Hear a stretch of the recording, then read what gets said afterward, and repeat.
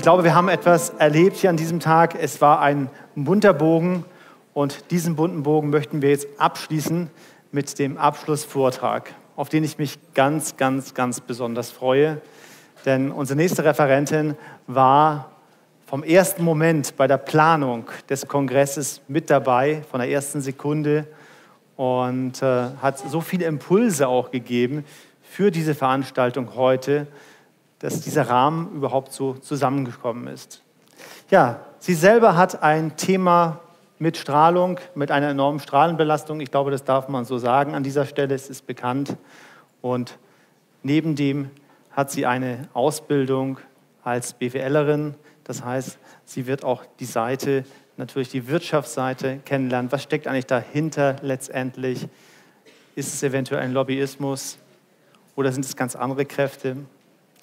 Und was bedeutet es überhaupt, smart in die Zukunft zu gehen? Der Kongress heißt ja 5G, smart in die Zukunft. Gehen wir wirklich smart in die Zukunft, so wie es draußen propagiert wird? Oder steckt da etwas ganz anderes hinter? Ein ganz anderer Kern.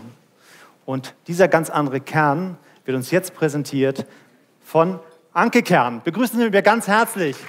Anke Kern.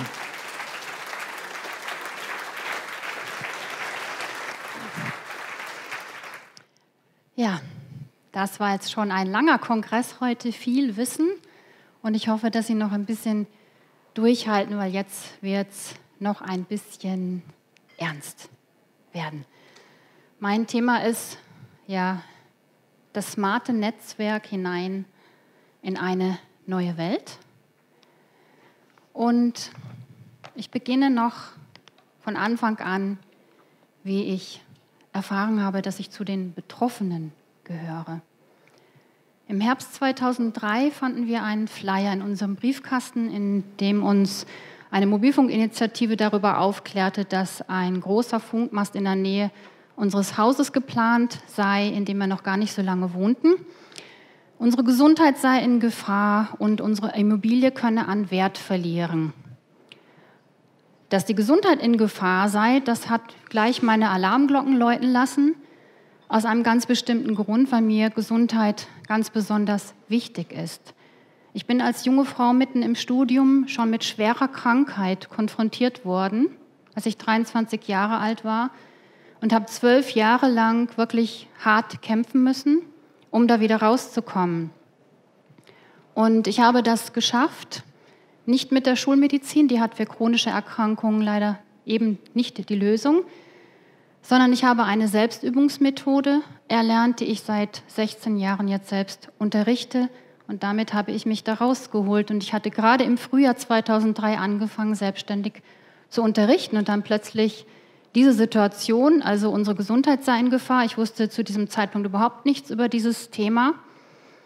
Ich war die Einzige, die sich in unserem ganzen Stadtviertel dafür interessiert, ein bisschen mehr zu erfahren. Ich habe mich mit der Initiative in Verbindung gesetzt und habe dann ein bisschen mehr mitbekommen. Es gab eine Infoveranstaltung in der Nähe unseres Hauses, zu der mein Mann, ein Arzt, ging.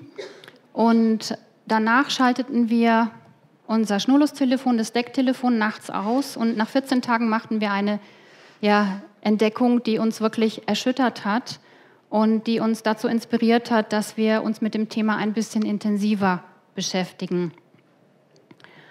Ähm, dann war das in der Nacht, also praktisch, es war wirklich eine Nacht- und Nebelaktion, hat die Telekom im Herbst 2004 auf der anderen Seite unseres Hauses einen Funkmast errichtet, um den wir uns erstmal keine Sorgen machten. Also wir dachten, der betrifft uns gar nicht.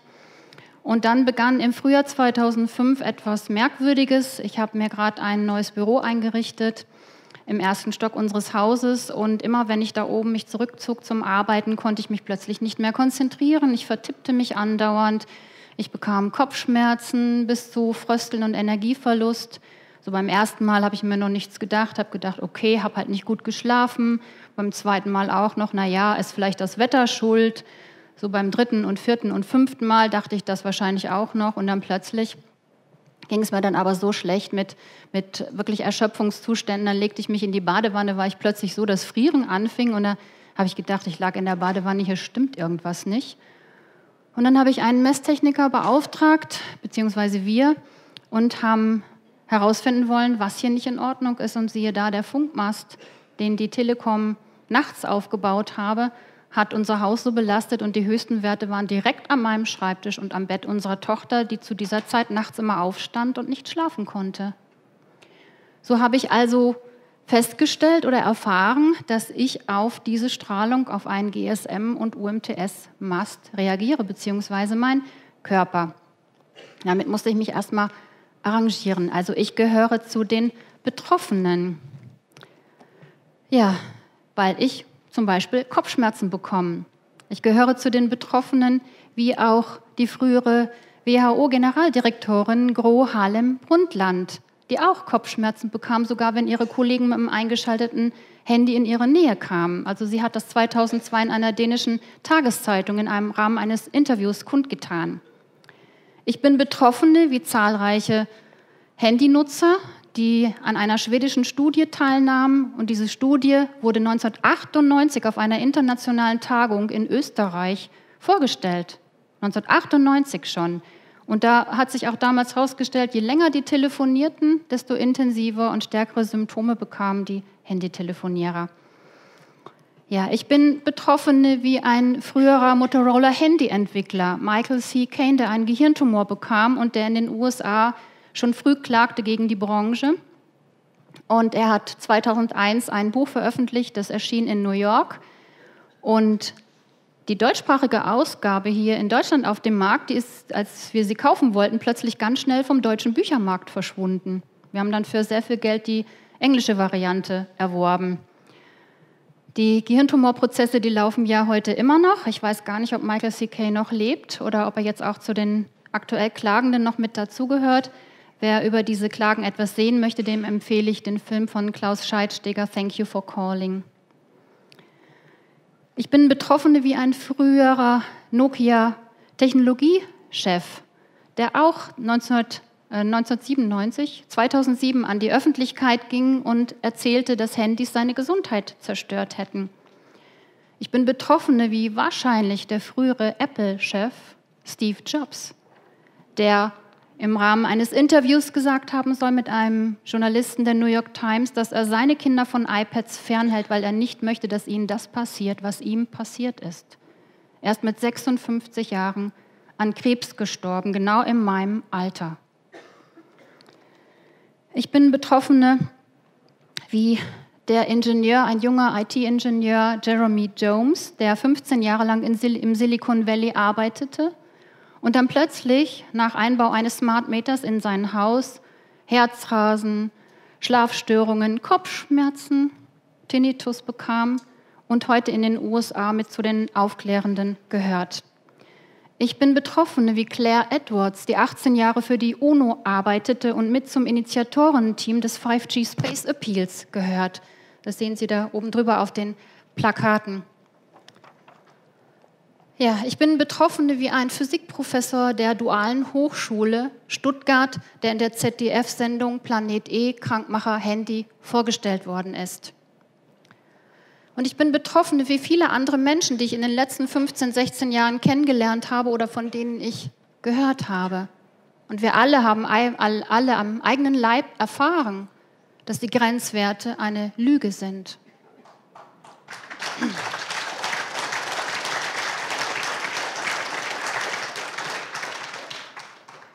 Ich bin Betroffene wie Rotkehlchen, die durch schwache technisch erzeugte elektromagnetische Felder in der Orientierung beeinträchtigt sind. Das können Sie sehen im britischen Dokumentarfilm Resonance Beings of Frequency. Ab Minute 22 geht es um Rotkehlchen. Es geht aber auch um Bienen und um Menschen.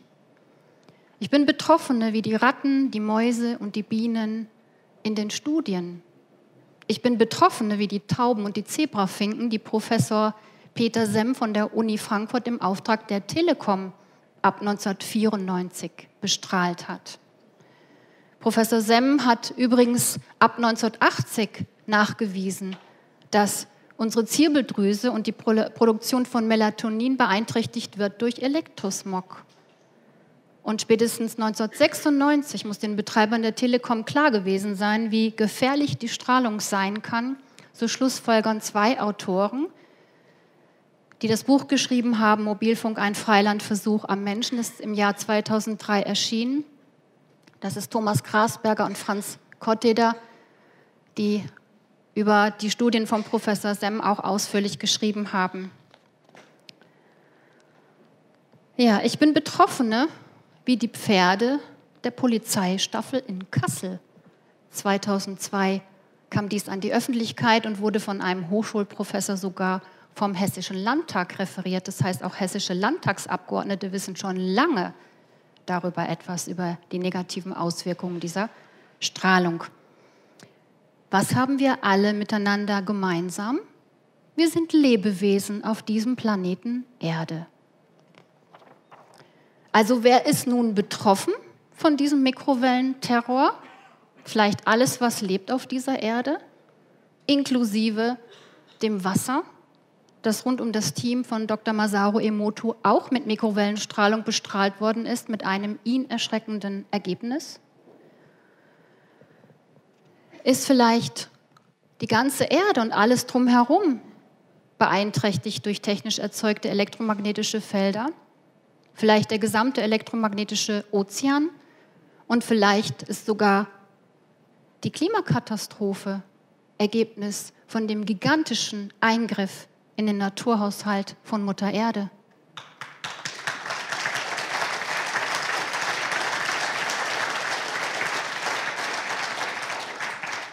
Und ich hoffe sehr, dass das Thema der elektromagnetischen Verseuchung dieses Planeten Erde mit dem Eingriff in das Wasser denn Energie oder in das Wetter, denn Energie geht nie verloren. Sie wandelt sich um, endlich auch mal bei der sogenannten Freitagsbewegung ankommt und sie aufhören, über das CO2 herzufallen, über das nämlich die Pflanzen jubeln würden, wenn wir mehr davon hätten.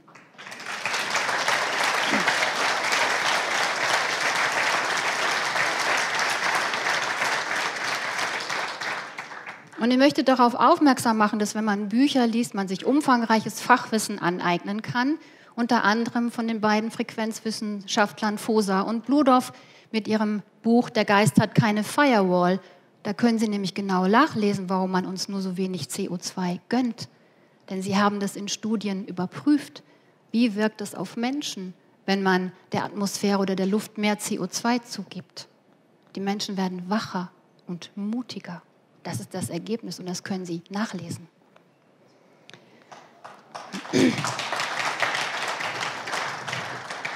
Und dass wache und mutige Menschen dem System im Weg sind, das können Sie sich vielleicht auch denken. Seitdem ich also von dem Thema erfahren habe, beobachte ich, vor allen Dingen, weil ich auch von anderen Menschen auf Dinge aufmerksam gemacht worden bin. Zum Beispiel von einer Ärztin im Frühjahr 2006, die mir Bäume zeigte, um Mobilfunksender herum und wie krank sie ausschauen. Sie hat mir das auch messtechnisch vorgeführt. Und seitdem beobachte ich Bäume.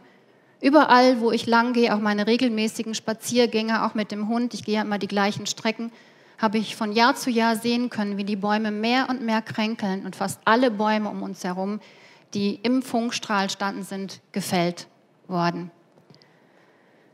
Dann wurde ich auf einer Ärztetagung in Bamberg im Januar 2005, initiiert von der Bamberger Ärzteinitiative, durch einen Referenten, einen Doktoringenieur der Physik, aufmerksam gemacht worden auf etwas, was ich dann ganz erstaunlich fand.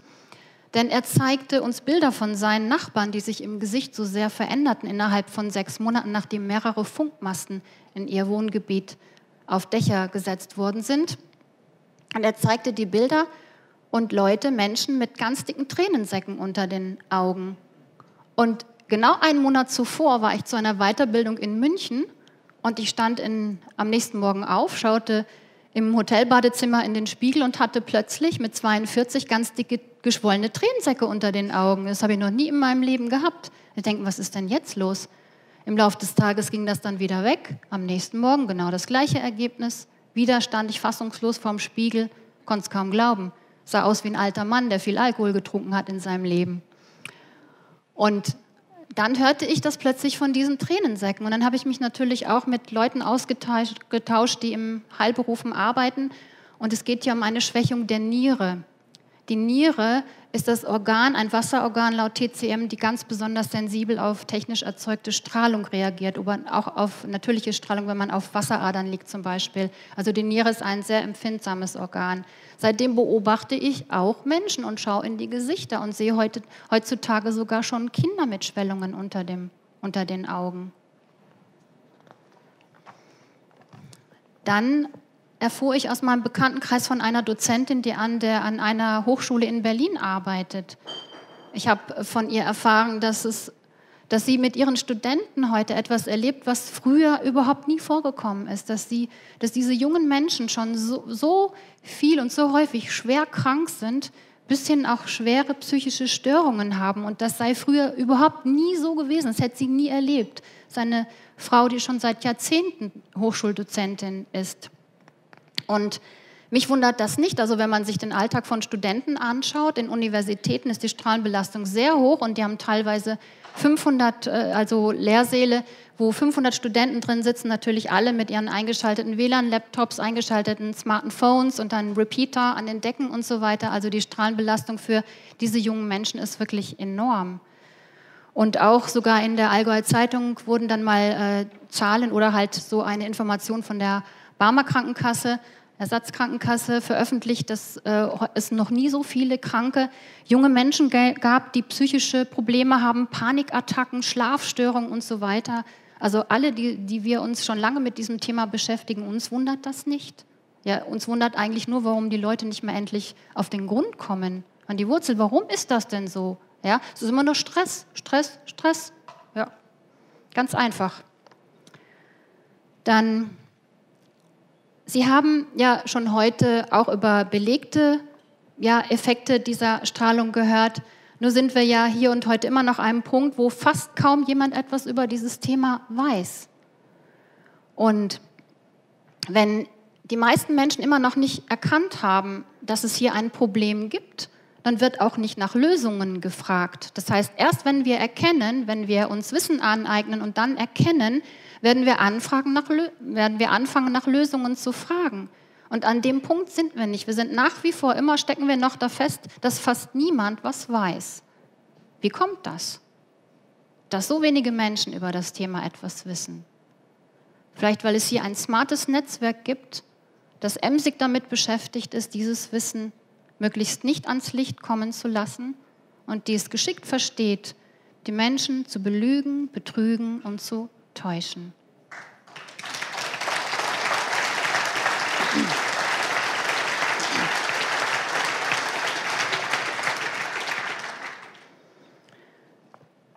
Ich habe das in drei Bereiche eingeteilt. Jeden Bereich stelle ich nur kurz vor, weil jeder einzelne Bereich von Medien, Politik und der Branche selbst wäre ein abendfüllendes Thema, wie sie sich verhalten. Ich möchte aber nochmal auch viel weiter zurückgehen, damit Sie auch sehen, wie lang das schon geht, weil es sind die Wurzeln, die dafür verantwortlich sind, dass wir jetzt alle miteinander ganz schön in der Tinte sitzen.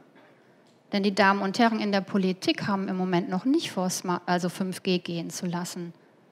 Ja, sie arbeiten wirklich auf Hochtouren, sie sind auf Senderstandortsuche. Die Betreiber, sie pushen jetzt ganz schön vorwärts und wollen, weil sie, ich vermute mal, auch den Widerstand überall wahrnehmen. Der ist dann nicht nur hier in Deutschland so, sondern auch in den USA sind die Menschen wirklich ganz, ganz intensiv mit Widerstand beschäftigt. Das freut mich auch, weil ich auch Kontakte nach Kalifornien bekommen habe, auch zu der Künstlerin, die dieses äh, Bild der Bienenfrau gemalt hat und mit ihrem Bild natürlich alles ausgedrückt hat, um was es hier geht, um Leben auf diesem Planeten Erde. Ich möchte zurückgehen zu einem äh, zu der Frage auch, welche Rolle spielen die Medien? Die Medien sind eigentlich dafür da, uns zu informieren. Also die, mit die Medien meine ich jetzt natürlich die etablierten Medien, die Mainstream-Medien. Es gibt Gott sei Dank im Moment natürlich sehr viele freie Medien, über die wir an Wissen rankommen, was uns früher nicht möglich war. Es gibt einen ganz beeindruckenden Artikel, der etwas aufzeigt, der auch online zur Verfügung steht. Der heißt Funkstille Überstrahlungsschäden. Ein Journalist, genannt Mike Krüger, hat 2007, Anfang 2007 in einer Journalistenfachzeitschrift genannt Message einen Artikel veröffentlicht, der es wirklich in sich hat. Also wer diesen Artikel kennt, den Inhalt kennt, der weiß, warum die Medien sich da raushalten. Also es wird zum Beispiel auch berichtet darüber, wie ein technischer Direktor des Bayerischen Rundfunks eines Abends eine sehr merkwürdige Informationsveranstaltung für seine Redakteure durchführte, wo sie nach und nach so das Gefühl beschlicht, dass er sie auf Linie bringen möchte. Dieser technische Direktor des Bayerischen Rundfunks hat zufälligerweise ganz besondere Kontakte zur Mobilfunkbranche und das kann man da auch nachlesen. Und der Bayerische Rundfunk fing auch damals an, die Senderstandorte an Mobilfunkbetreiber zu vermieten. Also ging natürlich jetzt hier geschäftliche Verbindungen ein. Dann eines der wichtigen, wichtigen Bücher, die ich zu dem Thema auch empfehle, weil es wirklich auch dieses Netzwerk aufzeigt, ist von den beiden Journalisten Grasberger und Kotteder Mobilfunk, ein Freilandversuch am Menschen. Das können, kann man noch gebraucht kaufen, weil auch hier das Netzwerk aufgezeigt wird. Und in diesem Artikel Funkstille Überstrahlungsschäden schreibt der Journalist auch darüber, wie dieses Buch entstanden ist. Sehr interessante Geschichte. Denn Herr Kotteder ist heute noch Redakteur bei der Süddeutschen Zeitung. Herr Grasberger hat gekündigt, nachdem man ihm einen Artikel über das Thema Mobilfunk veränderte, Sätze rausstrich, Sätze einfügte, die er gar nicht geschrieben hat und somit vollkommen Sinn entstellt. Und er war so empört, als er seinen von, angeblich von ihm stammenden Artikel las, dass er äh, gekündigt hatte. Und das ist sehr erhellend in diesem Artikel. Also können Sie selber alles nachlesen. Es ist ja nicht meine Erfindung, es steht wirklich online. Ähm, Funkstille über Strahlungsschäden. Wenn Sie es eingeben, Mike Krüger, Funkstille über Strahlungsschäden, dann finden Sie es auf mehreren Internetseiten online. Dann eine Geschichte, die mich damals auch sehr betroffen gemacht hat, von einem Spiegeljournalisten. Der schlich sich im Frühjahr 2007 in das Vertrauen einiger Aufklärenden ein, äh, hatte eine Ärztin und verschiedene Menschen zwei Tage lang begleitet, insbesondere eine Ärztin, die ihm auch Dokumente, zahlreiche medizinische Dokumente überreichte, ähm, an denen der Spiegeljournalist hätte erkennen müssen, dass an den Warnungen zu dieser Technologie wirklich etwas dran ist. Am zweiten Tag ist ein Doktoringenieur der Physik mit ihm gegangen den ganzen Tag und hat ihn auch über die Baumschäden aufgeklärt rund um Sendeanlagen. Aber dieser Artikel schien wohl ausschließlich dazu gedacht gewesen zu sein, eine ganz besonders engagierte Ärztin, die ich sehr schätze, in die Pfanne zu hauen. Und das hat er auch getan. Er hat einen unglaublich entwürdigen Artikel über diese Ärztin veröffentlicht und hat ihr noch, bevor er also veröffentlicht worden ist, ihr das PDF-Dokument geschickt per E-Mail und hat ihr das geschrieben mit den Worten, ich hoffe, Sie fühlen sich gut behandelt und Sie fühlen sich gut wiedergegeben. Also er hat sie auch noch mit diesen Worten verspottet. So mies kann Journalismus sein. Dieser, wer weiß, ich sage Ihnen, wie der Artikel heißt, der Hamster ist Zeuge, war die Überschrift dieses Spiegelartikel. Und die Ärztin, ich habe die ganzen Dokumente nochmal durchgelesen, hat das auch hinterher klargestellt. Nicht der Hamster war Zeuge, sondern mehrere Ärztinnen und Ärzte, die bestimmte Fälle belegt haben. Und diese ganzen Unterlagen wurden diesem Journalisten überreicht.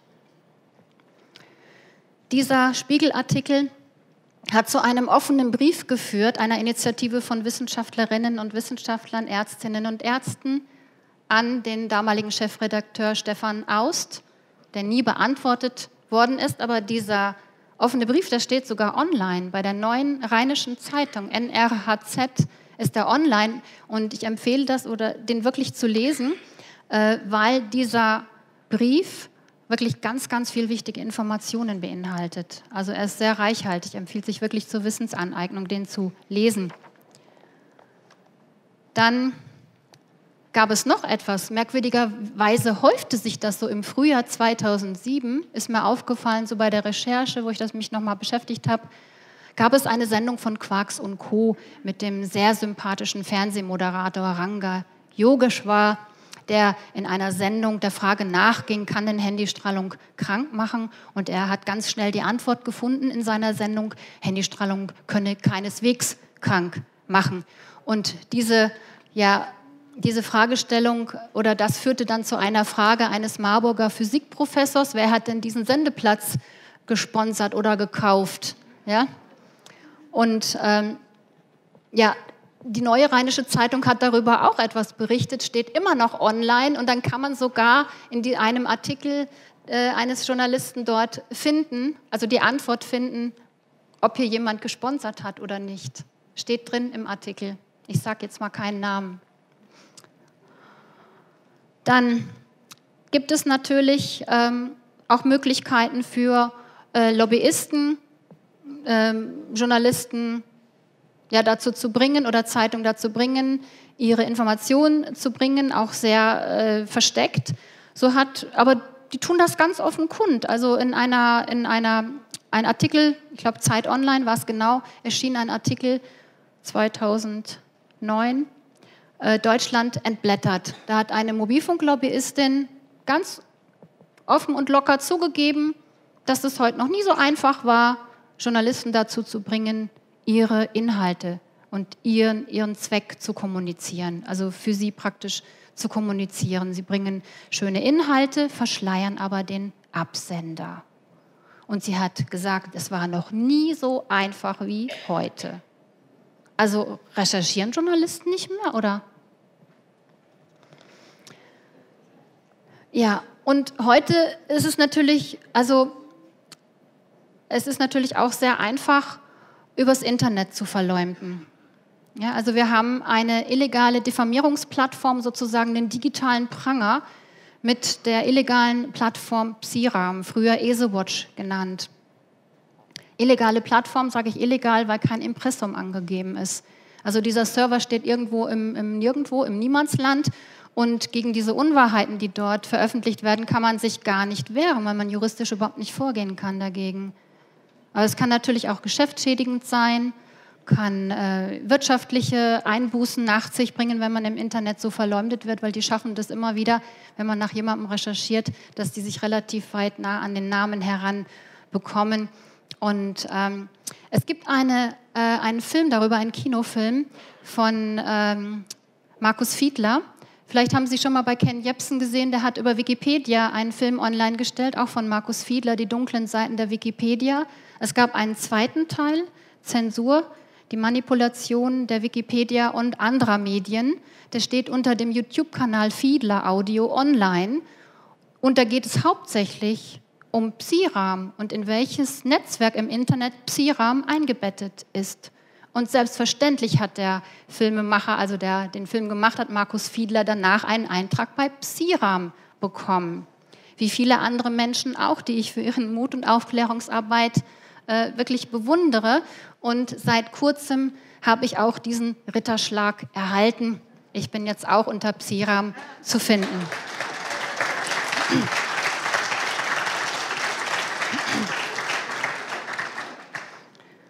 Und natürlich war das nicht nur der Spiegel allein. Also in dem äh, Artikel Funkstille Überstrahlungsschäden wird auch berichtet darüber, dass auch andere etablierte Medien dazu beigetragen haben, dass Menschen, die sich kritisch mit dem Thema auseinandersetzen, die an die Öffentlichkeit gehen, ähm, wirklich äh, ins Lächerliche gezogen werden. Und das ist tatsächlich auch auf fruchtbarem Boden gestoßen, was wir Aufklärenden dann wirklich erfahren haben. Denn uns ist plötzlich so Spott und Häme äh, entgegengekommen. Sie haben uns so in die Spinnerecke gestellt, wo ich auch merke, sieh mal einer an, äh, wie fruchtbar das doch auch ist, diese Arbeit. Weil den Spiegel, die Zeit, Süddeutsche Zeitung und so weiter nimmt man ja alles ernst, als, auch als Akademiker. Ne? Das sind ja die Medien in Deutschland. Äh, nur ist es so, dass jetzt ähm, im Oktober 2017 hat das Magazin Free 21 einen Auszug aus einer Studie eines Schweizer Forschungsinstitutes vorgestellt mit, äh, mit der Information, dass, uns, dass deutsche etablierte Medien und auch die Fernsehanstalten eingebettet sind in die Propagandamatrix des Council on Foreign Relations, des mächtigsten US-Thinktanks Das ist eine wissenschaftliche Studie, die ist online gestellt bei Free21 unter Propagandamatrix. Ist auch nicht meine Erfindung, sondern man kann es nachlesen. Dann komme ich zur Rolle der Politik oder der Damen und Herren in der Politik oder wie ich es bei der Wissensmanufaktur gelesen habe, die Politikdarsteller, die da Politik darstellen. Die Verantwortlichen, die keine Verantwortung zu tragen haben. Oder haben Sie schon mal irgendwie gehört, dass ein, eine Dame oder Herr in der Politik für irgendetwas hat Verantwortung tragen müssen? Ich habe mich nochmals beschäftigt intensiv mit der bayerischen Rinderstudie. Ich weiß nicht, ob Sie schon mal davon gehört haben. Das war schon in den 90er Jahren, also es ist schon eine lange Geschichte. Da hat ein Bauer aus Schneidsee ab 1995 plötzlich ganz schlimme Zustände an seinem Hof gehabt. Also unglaublich viele Fehlgeburten, also ähm, auch verkrüppelte, also Kälber und so weiter. Es war ein, wirklich ein Drama. Und ein ehemaliger grüner Landtags Landtagsabgeordneter, der Volker Hartenstein, hat sich dafür eingesetzt, dass daraus eine Studie gemacht wurde. Nur wie diese Studie abgelaufen ist und dass sogar unter einem Staatsminister eine Studie abgewandelt worden ist, mit einem Ergebnis an die Öffentlichkeit gegangen sind, das nicht das Ergebnis der Studie war, dass sich christlich und soziale Politiker erlauben, eine Studie zu manipulieren, das hat mich wirklich fassungslos gemacht. Also ich bin eines Abends wirklich wutentbrannt aufgesprungen, konnte an meinem Vortrag nicht mehr arbeiten, weil ich immer denke, das gibt es doch nicht, dass die damit durchkommen. Sie belügen, betrügen die Menschen und kommen damit durch und es hat keine Konsequenzen. Ihnen werden ihre Gelder nicht gekürzt, ihre Pensionen nicht gestrichen und gar nichts. Sie kommen durch. Bisher.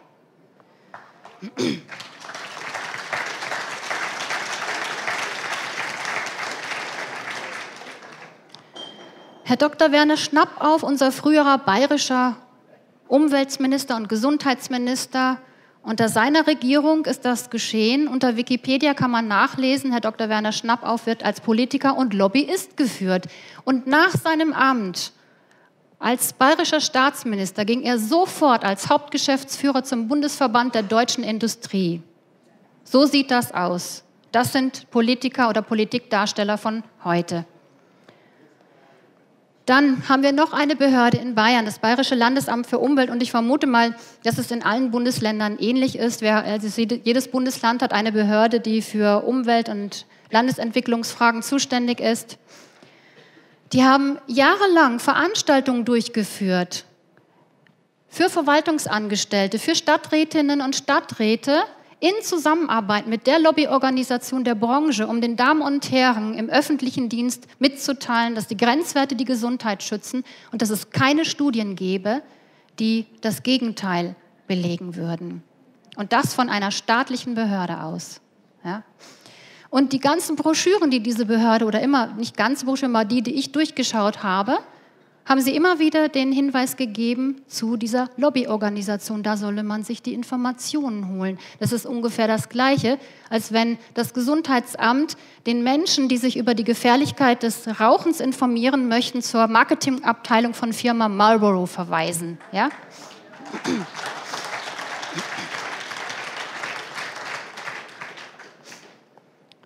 Und jetzt noch in einer neueren Broschüre aus dem Jahr 2012 dieses Landesamtes zum Thema Mobilfunk und Schule finde ich wieder den Hinweis auf diese Lobbyorganisation, wo sich dann die Lehrerinnen und Lehrer die Informationen holen sollen, wie ungefährlich doch diese Strahlung ist, damit diese das doch auch bitte an ihre Schülerinnen und Schüler weitergeben und diese ganz in Ruhe weiter ihre smarten Phones benutzen.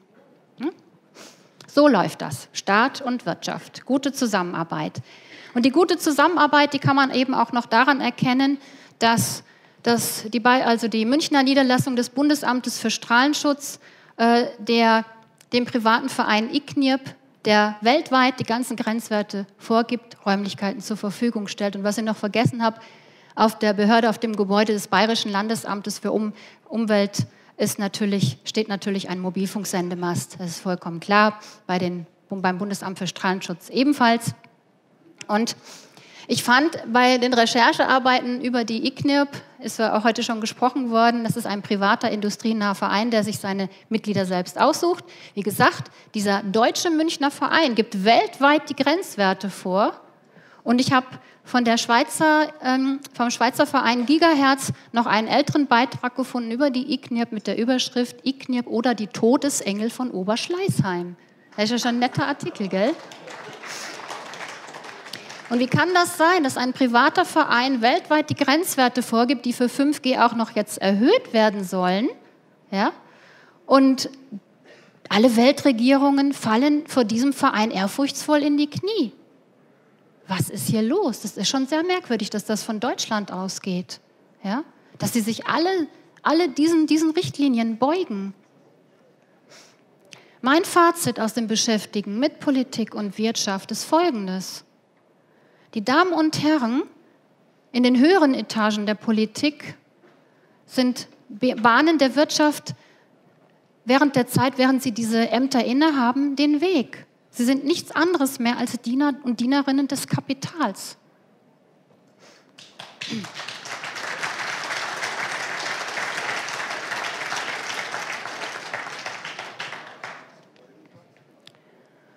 Ja, und wie agiert die Branche selbst? Die natürlich am größtmöglichen Profit interessiert ist, so wie leider auch die Bundesregierung, weil die ist natürlich auch ein bisschen in einer Zwickmühle Staat und Wirtschaft, denn die Bundesregierung ist Anteilseigler zum Beispiel an der Telekom-Aktiengesellschaft. Ja? Und dass die Wirtschaft so große Macht bekam, ist ja letztendlich den Privatisierungen zu verdanken. Ja? Die Bahn, die Post, Telekommunikation, wurde privatisiert, verkauft, also praktisch öffentliches Eigentum, von Steuergeldern finanziertes öffentliches Eigentum ist verkauft worden. Und die können jetzt machen, was sie wollen. Habe ich vor kurzem erst erfahren. Weil es eine private Angelegenheit ist, darf die Telekom jederzeit und überall die Gehsteige aufreißen und eine Stadt hat überhaupt nichts mehr zu sagen, weil es eine private Angelegenheit ist. Ja? Und eine Aktiengesellschaft zum Beispiel ist ja verpflichtet, laut Aktiengesetz den größtmöglichen Profit für die Aktionäre zu erwirtschaften. Und was ist passiert durch die Privatisierungen? Stellenabbau, Stellenabbau, Stellenabbau, sodass jetzt auch bei der Bahn unglaublich viele Stellen fehlen, weil die Aktionäre ja den größtmöglichen Profit machen wollen. Das ist Staat in Deutschland heute. Ja? Und wen, wen, wen genau unsere Damen und Herren in der Politik. Und ich frage mich eigentlich heute noch, wer hat denen das eigentlich erlaubt, während ihrer Amtszeit öffentliches Eigentum zu verkaufen? Das frage ich mich heute noch. Das darf doch eigentlich gar nicht sein, dass von Steuergeldern finanziertes Eigentum verkauft werden darf. Ja? Würde ich mal sagen, nein, aber sie haben es getan. Und wen sie zu den neuen Mächtigen gemacht haben, steht auch auf Free 21 online mit dem Titel Die neuen Mächtigen. Da können Sie dann sehen, was steht hinter der Deutschen Post, hinter Telekom und so weiter. Wem gehört das? Abgesehen davon, dass die 1,5 Millionen Sozialbauwohnungen verkauft haben, ja, zum Beispiel. Und ja, und so weiter und so fort. Ne? Da könnte man sich ja endlos auslassen über dieses Thema. Aber wie agiert die Branche selbst? Also sie hat ähm, 2001 äh, eine das Informationszentrum Mobilfunk e.V. gegründet. Das habe ich vorhin als Lobbyorganisation bezeichnet, was sie angeblich nicht war. Nur merkwürdigerweise sind die Betreiber dieses äh, Informationszentrums die sechs UMTS-Lizenzinhaber gewesen und noch ein Bündelfunk, äh, äh, eine Bündelfunkfirma, Dolphin Telekom, glaube ich, war das. Äh, also es sind Mobilfunkanbieter, äh, stecken hinter dem IZMF, angeblich ein gemeinnütziger Verein. Und da muss man sich auch noch mal vorstellen, wie kommt eigentlich so eine Lobbyorganisation zu einem Gemeinnützigkeitsstatus, den wiederum natürlich der Staat verleiht. Also hier ist schon wieder der Staat mit im Boot, der der Wirtschaft die Wege ebnet. Ja? Und äh, sie haben, äh, waren also circa also was die Journalisten Grasberger und Kotte da geschrieben haben, äh, mit einem Jahresetat von 5 Millionen Euro ausgestattet, um die Öffentlichkeit in ihrem Sinne zu beeinflussen. Also wenn wir aufklärenden 5 Millionen Euro im Jahr gehabt hätten über die ganzen letzten 15 Jahre zum Beispiel, da hätten wir ganz schön viel Informationspolitik betreiben können. Das Geld haben wir leider nicht. Und damit mit einer Gemeinnützigkeit macht der Staat ja dann auch noch den Mobilfunk, den armen, milliardenstarken äh, Mobilfunkanbietern noch ein schönes Steuergeschenk.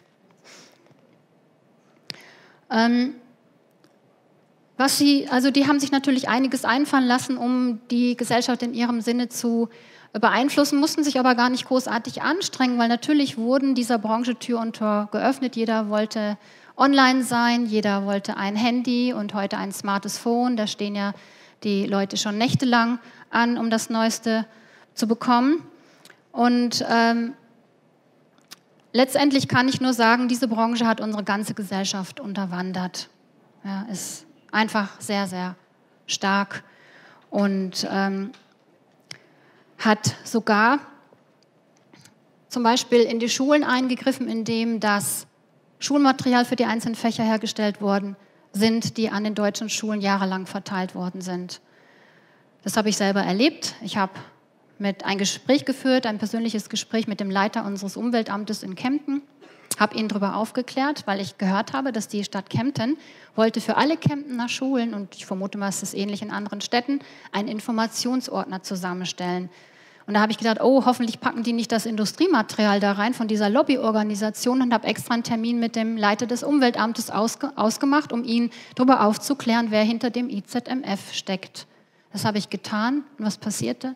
Mir ist zufällig ein Ordner in die Hände gefallen. Das ganze Industriematerial war im Ordner drin, das an jede einzelne Schule ging. So ist das. Wir brauchen gar nicht bis in die Bundesregierung raufgucken. Wir brauchen nur in die Gemeinderäte und die Stadträte und die Stadtverwaltungen reinschauen. Sie machen alle mit. Ja, und, und für Ärzte ist genau das Gleiche. Also diese Lobbyorganisation hat auch ein Buch für Ärzte äh, herausgegeben. Äh, Mobilfunk und Gesundheit heißt es, glaube ich, und das wurde sogar im deutschen Ärzteblatt vorgestellt. Dann war es so, dass im Frühjahr 2005, glaube ich, ähm, ist, ich sage glaube ich, weil ich ohne Brille das jetzt gar nicht so gut sehen kann, meine Zahlen. Und ich habe gedacht, ich gucke mal, was ich noch auswendig weiß von meinem Vortrag, weil ich das Headset jetzt drauf habe.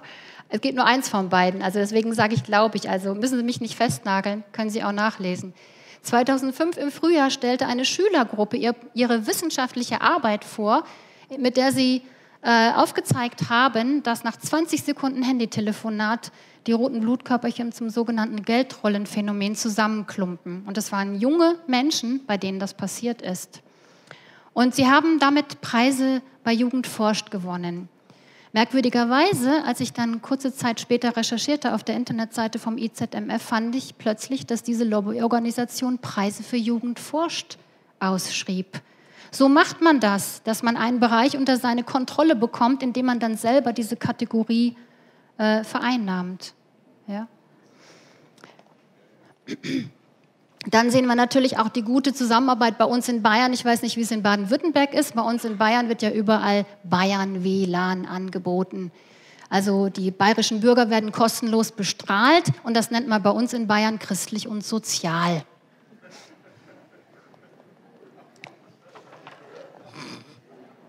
Ja, kann ich nicht anders sehen und ich, ich vermute mal, dass Sie denken, dass Sie sich damit Ihren Platz im Himmel erarbeiten. Also mein Fazit ist, äh, in dieser Zeit, also in der Politik sitzen die richtigen Leute an den richtigen Stellen, um der Branche den Weg zu ebnen. Also was ich gelesen habe von äh, Ministerien, die Briefe, die ich gelesen habe, ganz, ganz viele Briefe, Antwortbriefe von Menschen, die in Ministerien arbeiten. Diese Ignoranz, die ich da gelesen habe, die hat mich immer wieder unglaublich erschüttert. Ja? Und ich als ehemalige Angestellte des öffentlichen Dienstes stelle mir öffentlichen Dienst wirklich anders vor, muss ich ehrlich sagen. Also öffentlicher Dienst sollte der Allgemeinheit zum Dienste sein und nicht dem Kapital.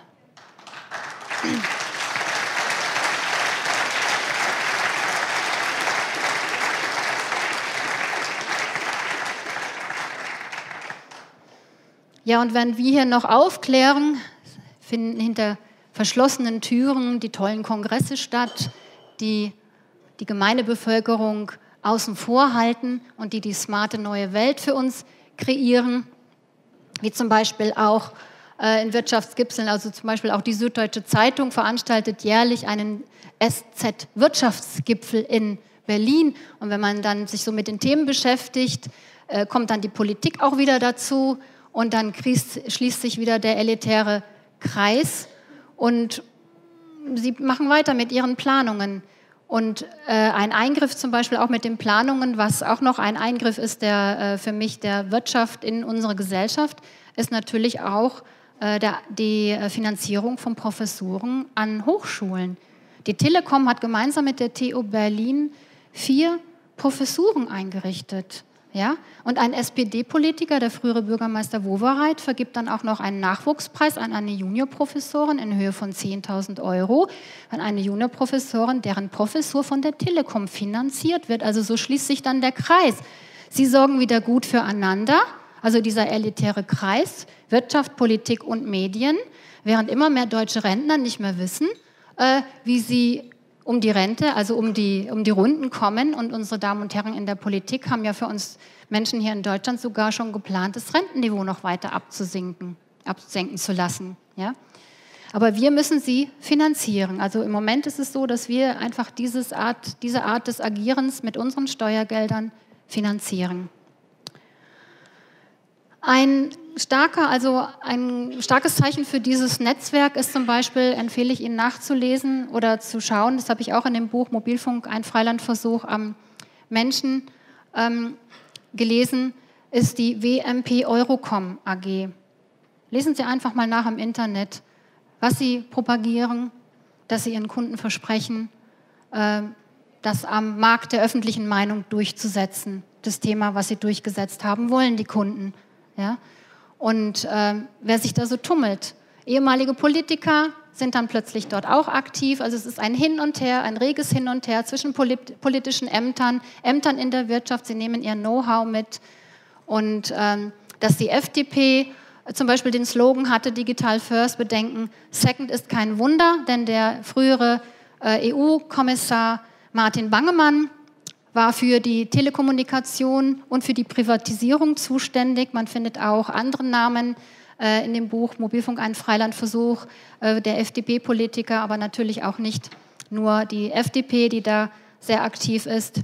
Und diesem Slogan Digital First Bedenken Second hat die Medizin-Koryphäe, 95 Jahre alt, Professor Dr. Karl Hecht in der aktuellen Ausgabe der Zeitschrift Raum und Zeit mit dem Artikel äh, Gesundheit first, 5G never entgegengesetzt, ganz bewusst. Ja.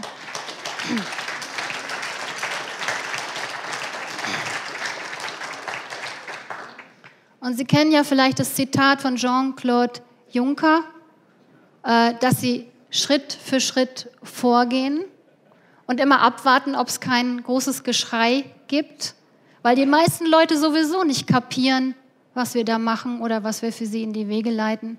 Und dann machen wir weiter, Schritt für Schritt, bis es kein Zurück mehr gibt. In diesem Kontext hier heißt es für mich 2G, dann 3G, dann 4G, dann 5G. Genauso arbeiten sie. Was können wir tun? Für mich ist es erstmal das Allerwichtigste, bei mir selber anfangen. Wir können nicht erwarten, dass andere etwas tun, was wir selber nicht bereit wären zu tun. Das ist grundsätzlich so. Genauso wie das Zitat ist, wenn wir Frieden in der Welt haben wollen, dann müssen wir mit Frieden in uns anfangen. Wir können nicht erwarten, dass während wir im Krieg mit allem Möglichen sind, äh, draußen Frieden herrscht. Ja, wir sind alle miteinander in Verbindung.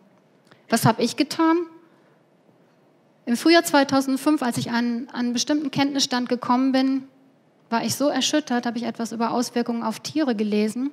Bin ich aufgesprungen, mein Mann kam zufällig von der Praxis nach oben.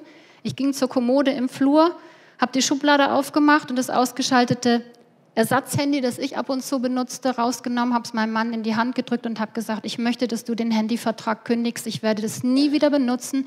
Ich mache bei diesem Verbrechen gegen das Leben nicht mit.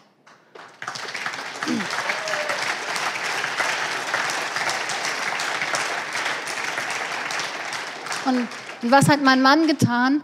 Das neue, das noch gar nicht so alte Handy, das anderthalb Jahre alt war, seinen eigenen Handyvertrag hat er mitgekündigt und wir leben seitdem absolut mikrowellenfrei.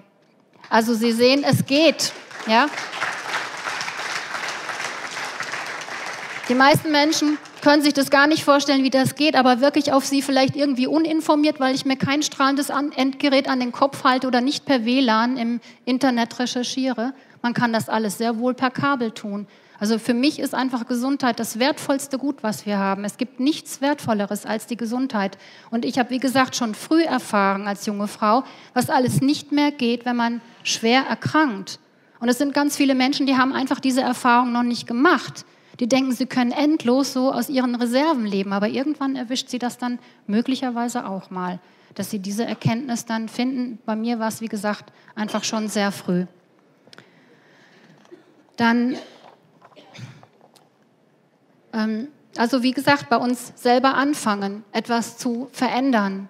Wie, das haben Sie ja heute auch schon gehört. Ähm, man kann das sehr wohl tun. Und aus meiner Arbeit möchte ich einfach noch zitieren, denn der alte Meister Lao Tse, Lao Tse bedeutet übersetzt alter Meister.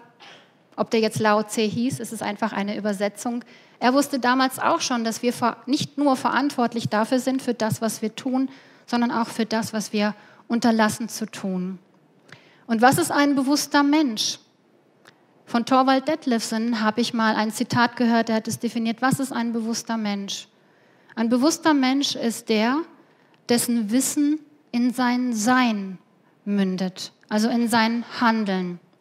Das heißt, erstmal müssen wir natürlich Wissen, Wissen aneignen und dafür dient so ein Kongress, ein Wissenskongress. Erst dann können wir erkennen und das Erkennen können oder das Erkennen ist die Voraussetzung für das Handeln, dafür etwas verändern zu können. Und was heißt es, bewusst zu sein? Wenn ich ein bewusster Mensch bin oder es werden möchte, bedeutet das auch, dass ich verantwortungsbewusst bin. Und zwar nicht nur für mich, sondern über mein eigenes Leben hinaus, auch für andere und vielleicht sogar für diese ganze wundervolle Erde ebenfalls. Vielleicht bedeutet das, dass wir Menschen äh, aufhören sollten zu glauben, dass Fortschritt der Weg ist, der uns vorwärts bringt. Denn wir sollten uns mal mit dem Wort beschäftigen. Fortschritt, fortschreiten. Wir schreiten fort vom Begreifen, was wir Menschen sind. Bioelektrische Lebewesen. Wir schreiten fort vom Begreifen, dass wir Teil der Natur sind.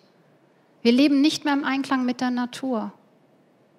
Und das ist es vielleicht, was wir wieder lernen sollten, was der Ältestenrat der Hopi auch äußerte, vielleicht sind wir diejenigen, auf die wir gewartet haben.